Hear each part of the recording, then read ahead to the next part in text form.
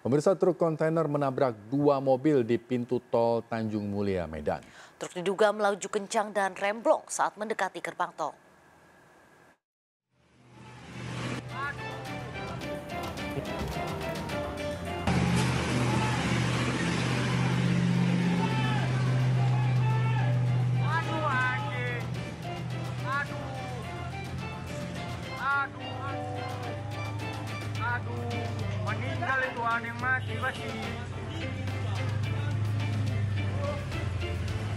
Ador.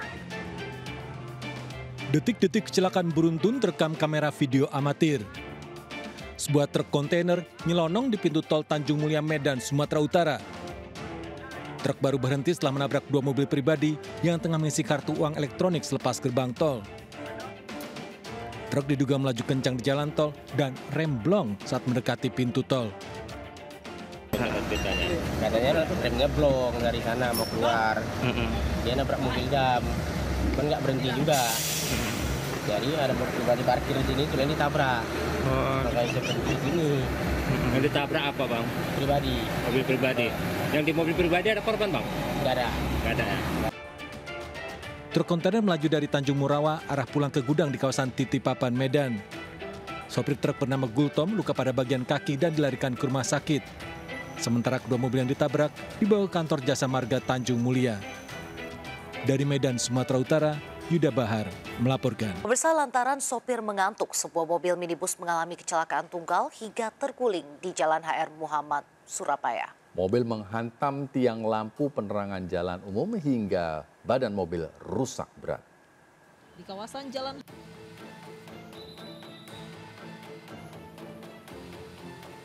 Pemirsa waspada jangan nekat berkendara saat ngantuk.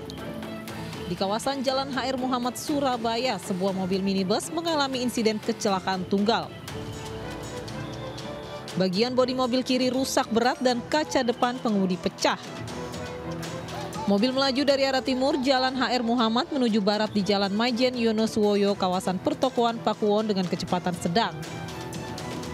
Tiba-tiba mobil hilang kendali dan menghantam tiang penerangan jalan di tepi trotoar. Adapun pengemudi yang luka dibantu warga keluar dari mobil. Ada suara ledakan itu dua kali. Duor, gerak. Oh.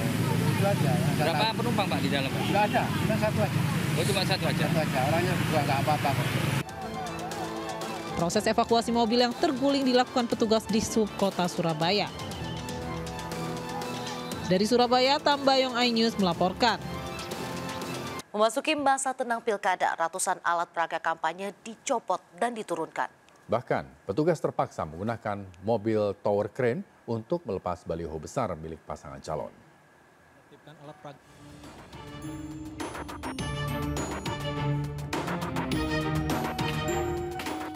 Petugas gabungan dari Satpol PP dan PPSU Kelurahan Menteng menertibkan alat peraga kampanye APK yang masih terpasang di jalan-jalan kawasan Jakarta Pusat. Beragam alat peraga kampanye berupa poster, baliho, spanduk hingga stiker dilepas dan diturunkan.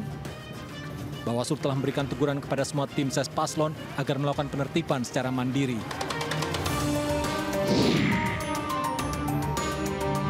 Bawaslu Kota Bekasi juga melibatkan petugas gabungan Satpol PP serta TNI Polri untuk menertibkan alat peraga kampanye di sepanjang jalan protokol Kota Bekasi.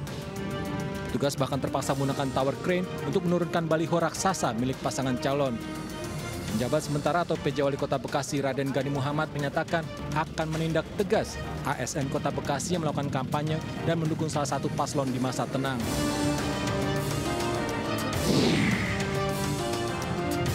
Komisi Pemilihan Umum KPU Provinsi Jawa Timur bersama Satpol PP menertibkan seluruh alat peraga kampanye di kota Surabaya. Penertiban dimulai dari Jalan Panglima Sudirman hingga Jalan Darmo, Surabaya. Sejumlah tim ses paslon juga terlibat menurunkan alat peraga kampanye yang terpasang. Masa tenang pilkada akan berlangsung selama tiga hari hingga pelaksanaan pemungutan suara Rabu 27 November nanti. Tim Liputan melaporkan.